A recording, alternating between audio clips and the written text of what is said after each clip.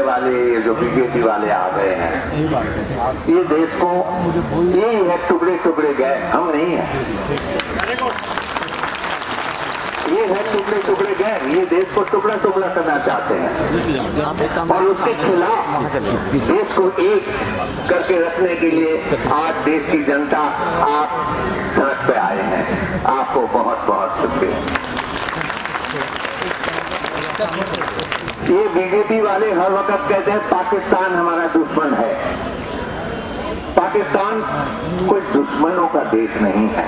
मैं पाकिस्तान गया बहुत बार। और पाकिस्तान, हिंदुस्तान के बीच में शांति, अमन कायम करने के लिए हम 25-30 साल से काम कर रहे हैं। वो कोई देशद्रोही काम नहीं है।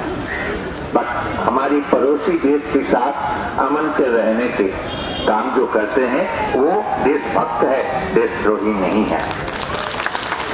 हर बात पे ये कहना, कोई भी इनके खिलाफ कुछ हम कहते हैं कहते हैं पाकिस्तानी है। इसका कोई मतलब नहीं है। पाकिस्तान, जैसे मैंने कहा, कोई दुश्मन देश नहीं है। यहाँ का जो रूलिंग क्लास है और पाकिस्तान के रूलिंग क्लास एक जैसे हैं।